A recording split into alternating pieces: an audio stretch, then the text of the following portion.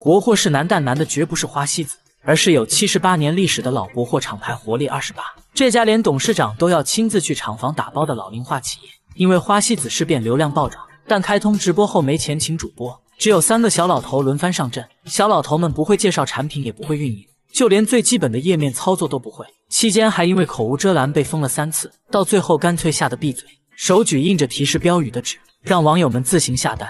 但是他们不会关直播镜像功能，所以字一直是反的。不好意思学其他主播叫宝宝们，开口就是孩儿们。想发个福袋给网友，结果点错了，给自己送了个热气球。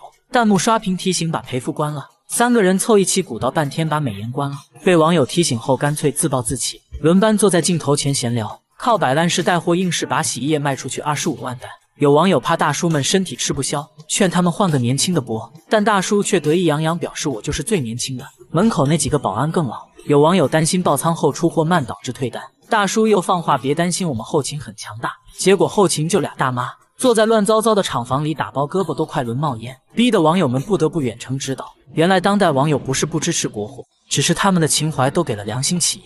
活力二十八直播间三个小老头直播时手足无措，直播间没货了，他们不会上架。网友见状，一边帮忙打广告，一边刷屏安抚新进来的消费者。无奈叔叔们鼓捣了半天都不会挂链接，于是网友们就开始引导大家点进橱窗下单。在看到叔叔们不小心开通了晚发赔付后，网友们又急得不行，因为单量已经暴涨到了二十多万，一旦发晚了就会被强制赔钱。可破旧的车间里只有几个阿姨在忙活，肯定供应不上来。于是上万人的直播间齐心协力，一直刷屏教叔叔们怎么关。神通广大的网友甚至直接一个电话过去，远程教叔叔们怎么操作。但是最后活力二十八还是保留了运费险，因为叔叔说哪怕是九块九四斤的洗衣液，也要让顾客放心。其他国货品牌见状也纷纷伸出援手，在直播间挂上了活力二十八的产品。